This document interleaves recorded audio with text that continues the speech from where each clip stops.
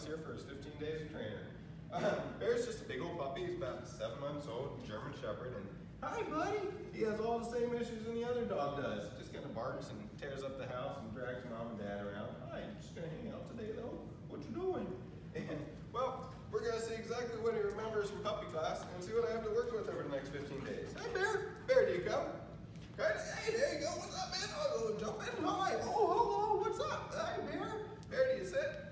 Got all tangled. Do you sit? Bear, sit. Sit. Kind of. Not really. Sit. Kind of. Sit. You got it. Oh, woohoo. You go down. Down. Nope. Okay, go for a walk. Let's go for a walk. You gonna walk? You want this way? Bear, come on, let's go. Let's go, Bear. Hey, baby, what's up? Oh, this is going. So, as you can see, Bear's a pretty good dog. He just doesn't have a whole lot of structure. So, why don't we check back here in 15 days and see his amazing transformation. Good job, buddy.